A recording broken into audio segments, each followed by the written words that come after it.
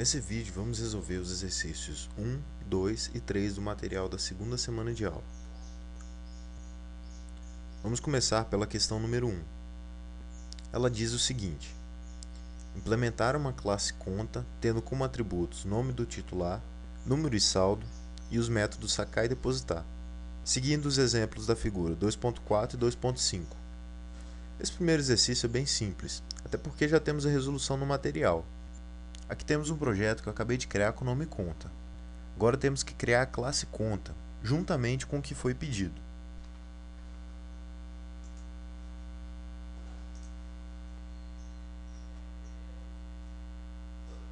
Nós iremos começar declarando os atributos.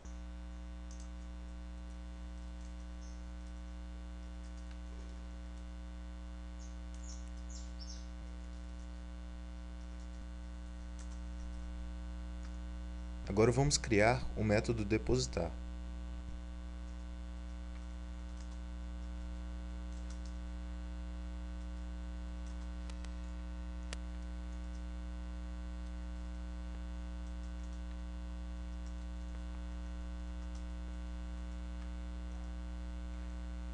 Agora vamos criar o método sacar.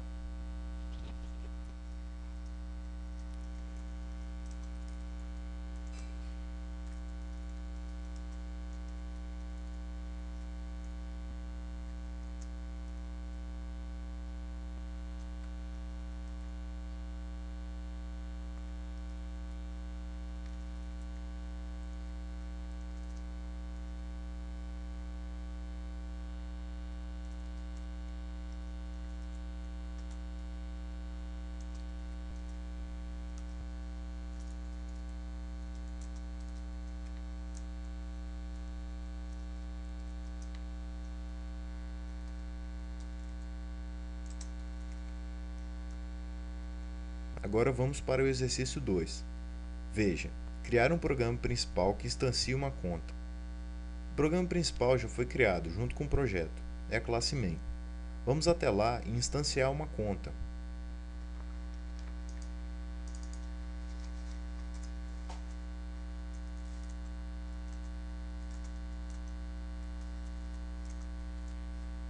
Agora devemos solicitar os dados da conta e atribuí-los. Vamos começar criando a variável scanner.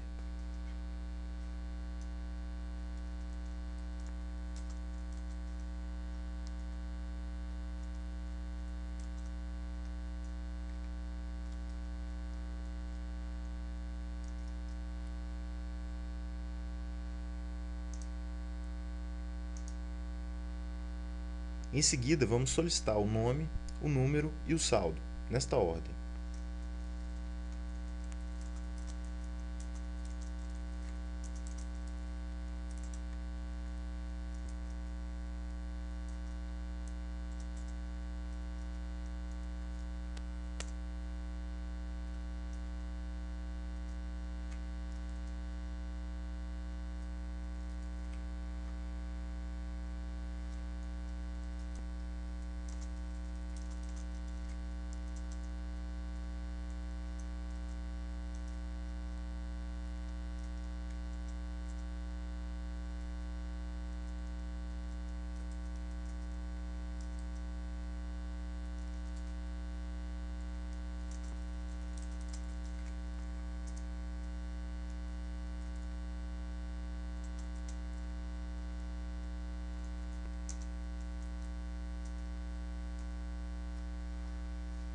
A questão agora pede que façamos um laço para dar as seguintes opções: um para depositar, dois para sacar e outro número para terminar a execução. Vamos fazê-lo.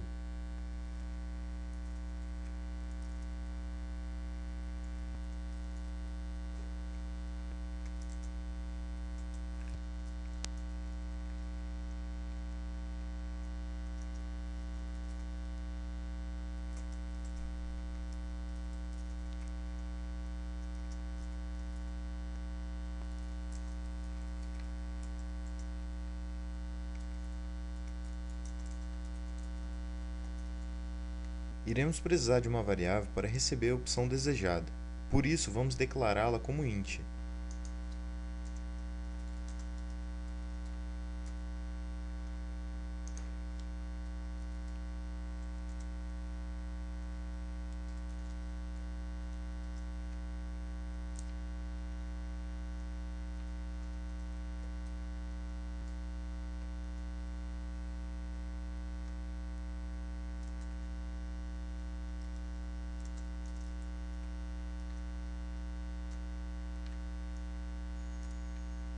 Agora temos que fazer um switch.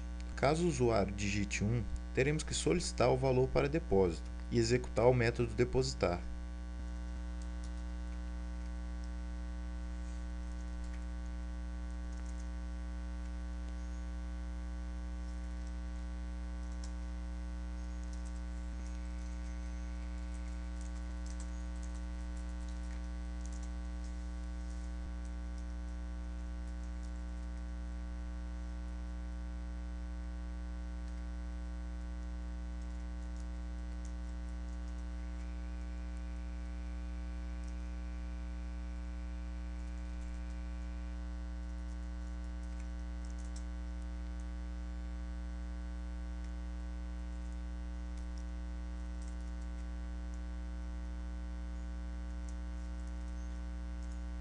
Caso digite 2, teremos que solicitar o valor a ser sacado e executar o método sacar.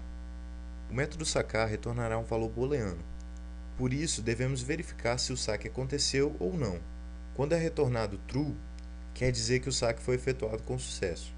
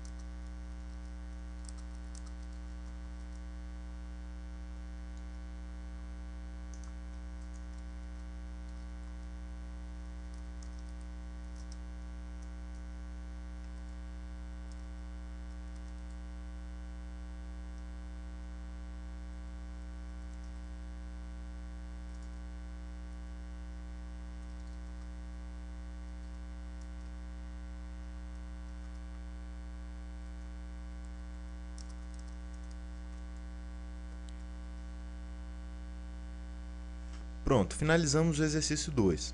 Vamos testá-lo. Vamos colocar José como nome titular.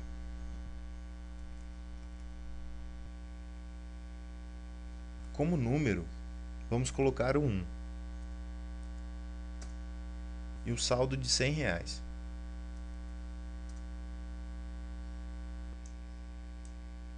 Vamos depositar mais 100 reais na conta.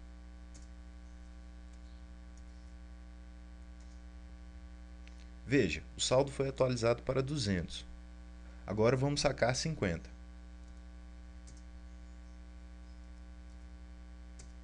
O programa está funcionando perfeitamente. Vamos informar o número zero para terminar a execução. Para o exercício número 3, vamos criar uma nova classe executável, chamada exerc3_2.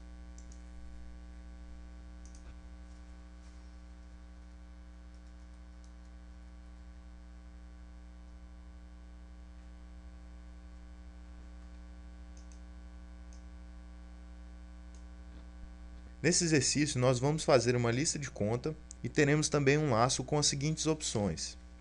1 para criar uma nova conta, 2 para ver o saldo de uma conta, 3 para sacar, 4 para depositar e outro número para finalizar. Vamos criar o menu.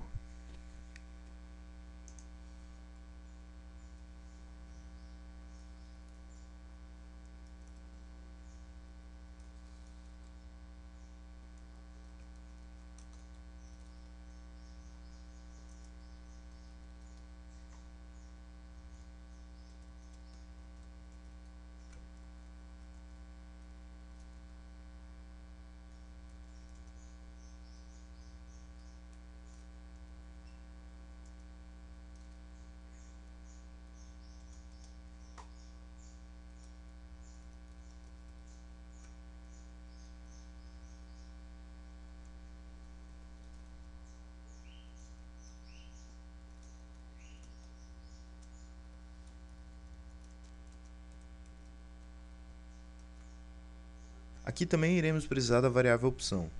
Vamos criá-la.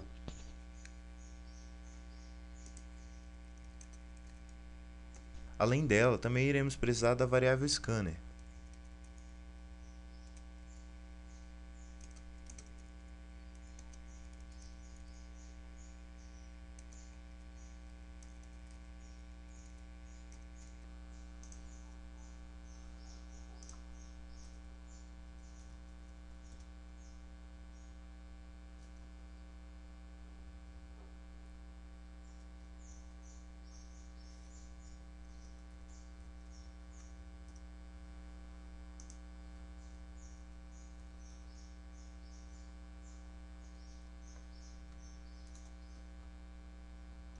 Se for digitado 1, devemos instanciar uma nova conta, solicitar o titular e o saldo da mesma, e atribuir o seu número. Este número será sequencial, portanto, vamos fazer apenas a solicitação do nome e do saldo.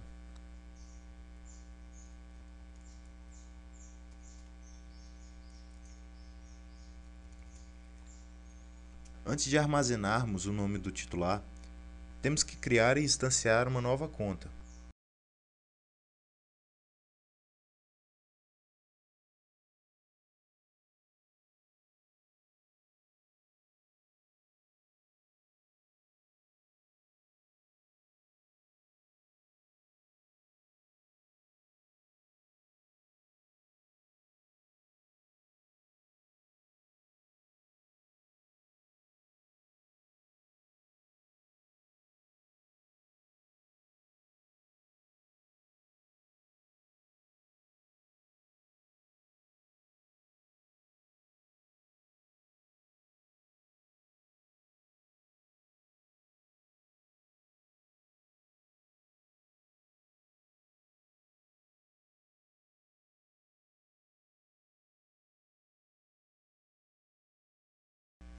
Temos que criar agora uma variável para armazenarmos o número sequencial das contas.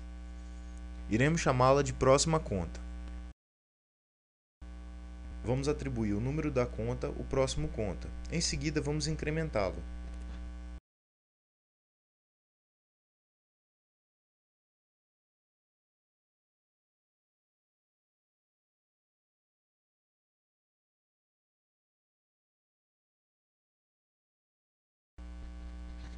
Agora temos que criar uma lista de conta, do tipo ArrayList.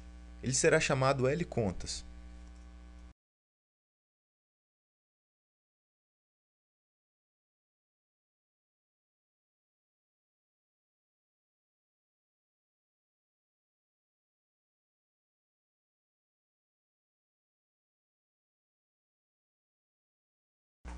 Agora devemos inserir a conta criada na lista de contas.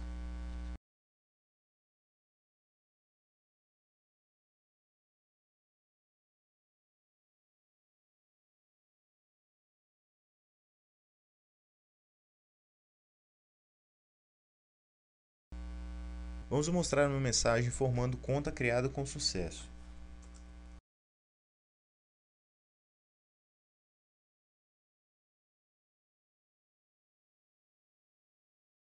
Agora devemos verificar se a opção digitada está entre 2 e 4.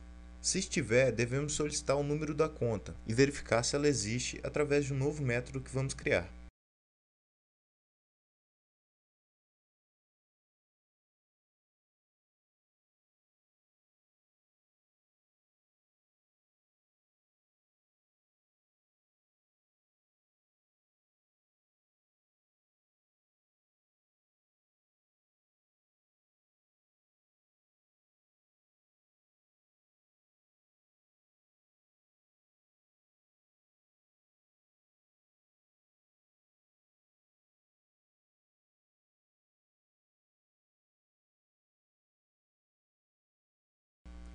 Agora teremos que criar uma variável número conta para receber o número da conta.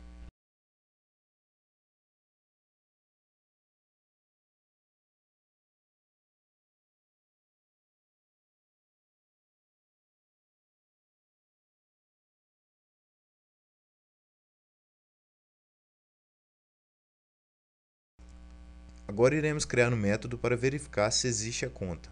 Esse método deverá ser estático, porque será chamado por outro método estático, o main. ele terá como parâmetros a lista e o número da conta.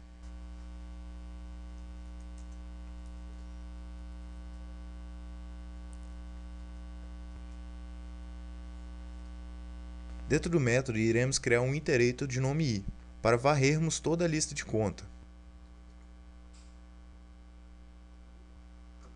Nosso while será o seguinte.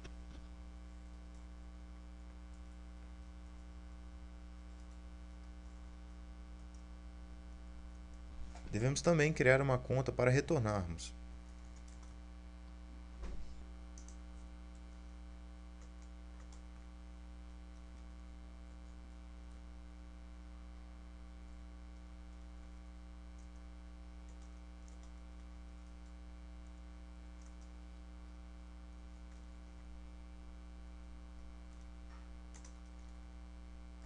O while irá percorrer toda a lista de conta e caso ache uma conta igual ao número que foi passado, ele irá retornar essa conta para o método que chamou.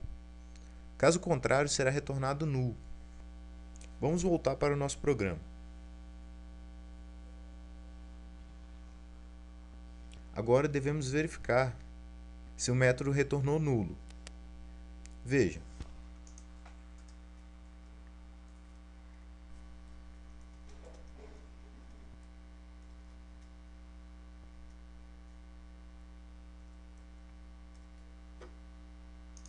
Agora devemos verificar a opção. Se for digitado 2, devemos apenas mostrar o saldo. Caso seja digitado o valor 3, deve ser solicitado o valor a ser sacado.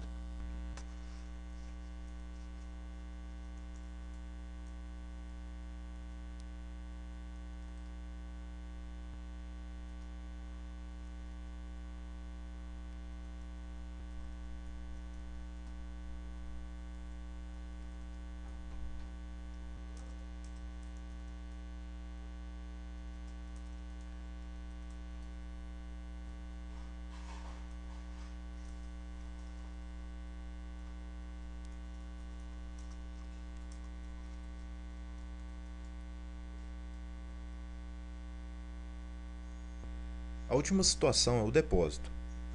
Para isso, devemos solicitar a digitação do valor e em seguida fazer o depósito.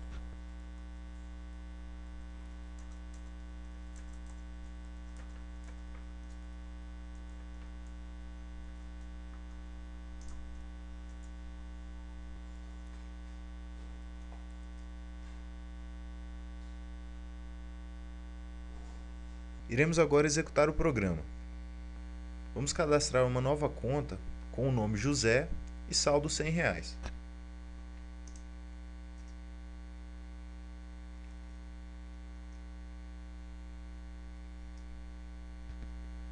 Vamos pedir o saldo dessa conta. Está correto. Vamos sacar 50 reais agora.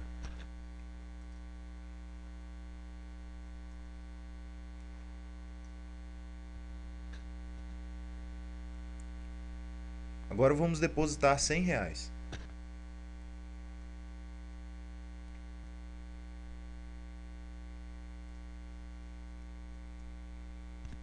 Em seguida, vamos pedir o saldo novamente.